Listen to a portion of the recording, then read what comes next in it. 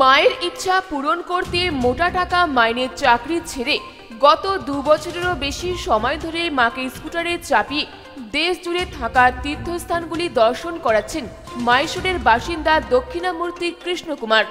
আজ থেকে বছর কুড়ি আগে বাবার দেওয়া স্কুটার করে দু হাজার আঠারো সালের ষোলোই জানুয়ারি মা চূড়ারত্ন দেবীকে নিয়ে মাইশোরের বাড়ি থেকে যাত্রা শুরু করেন।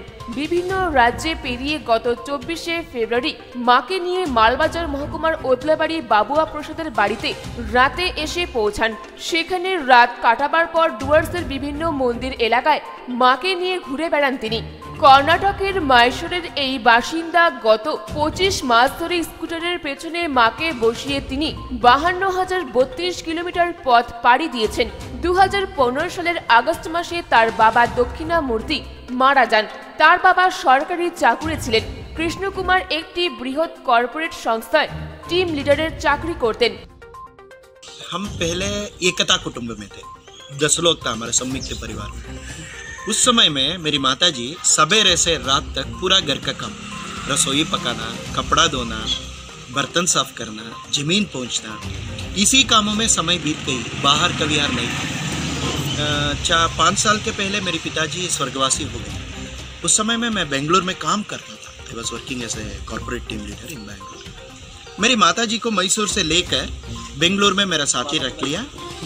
एक दिन बातों बात करने के समय मैं पूछा, माँ, आप तिरुवण्णामलई तिरुक्कोइलूर, तिरुवारंगम, तिरुनलवेली, तिरुपट्टूर, तिरुवनंतपुरम, तिरुपति कुछ देख गया दिस आर ऑल यात्रा स्थल वर्शिप सेंटर।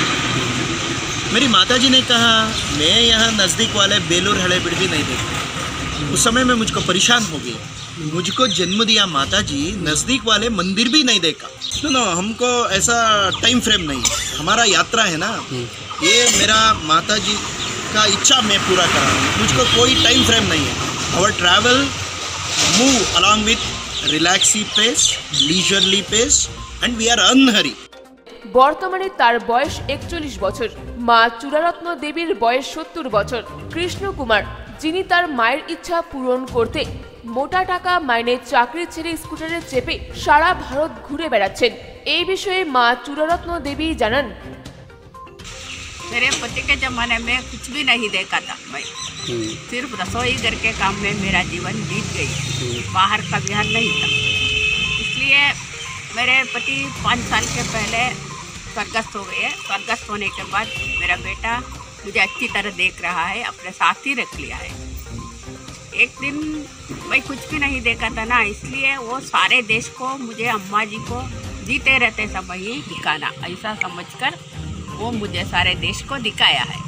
दिखाते समय सब कुछ मंदिर, छोटा मंदिर, बड़ा मंदिर, बड़ा गाँव, छोटा गाँव, धार्मिक क्षेत्र, प्रेक्षणीय स्थल, शिक्षा संस्थाओं, सभी दिखाया है। रोड में मिलने वाला हर मंदिर को मुझे उठकर दिखाया है।